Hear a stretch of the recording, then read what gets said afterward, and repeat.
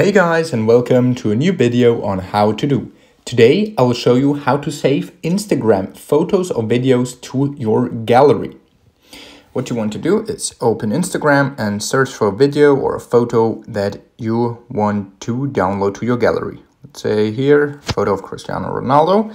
Then click on the share button and then click on copy link at the bottom. Now it says copied.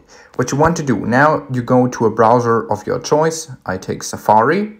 And then what you want to type in, in the search bar is Snap Insta.